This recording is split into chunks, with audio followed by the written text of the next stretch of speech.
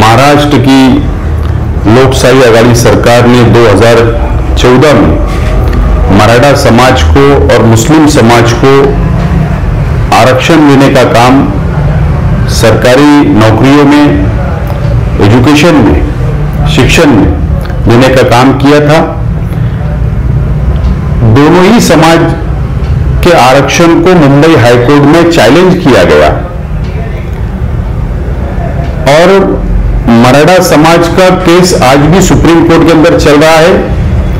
मराठा समाज के विद्यार्थी, युवक, आज वो शिक्षण लेने के लिए एजुकेशन के लिए, उनको जो भी समस्याएँ आ रही है, राज्य सरकार ने ऐसी भूमिका ली है।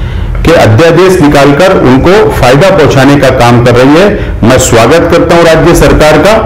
लेकिन मुस्लिम समाज का, जो मुंबई हाईकोर्ट ने शिक्षण में पाँच टक्का आरक्षण देने का जो निर्णय लिया था, जो भाजपा की सरकार ने लैप्स कर दिया था मुस्लिम समाज का आरक्षण को तो मैं सरकार से विनती करता हूँ, माननीय मुख्यमंत्री जी, उद्धव जी ठाकरे साहब से माननीय बाला साहब थोरात साहब से जयंत पाटिल साहब से, अजीत दादा साहब से कि मुस्लिम समाज के जो युवक है, आज वो भी शिक्षण, उच्च शिक्षण लेना चाहते हैं।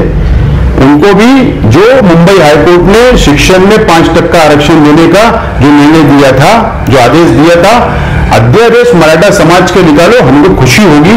लेकिन साथ साथ में मुस्लिम समाज का भी अध्यादेश निकालकर, मुस्लिम समाज के नौजवानों को भी न्याय देने का काम सरकार करे, उसका कारण है कि हम कांग्रेस पार्टी से है, मैं खुद भी, और आज मुस्लिम समाज के अंदर नाराज़गी धीरे धीरे निर्माण हो रही है। और लोग आज हमसे सवाल करते हैं, इसके लिए मेरी विनती है कि दोनों अध्यादेश साथ में निकालकर दोनों ही समाज को न्याय देने का काम महाराष्ट्र की सरकार करे, यही मैं विनती करता हूँ। रेडीमेड कपड़े भव्य स्वराज फ़ैशन. रिजनेबल खरीदी उत्तम प्रकार variety Swaraj fashion royal walk छोटा समूह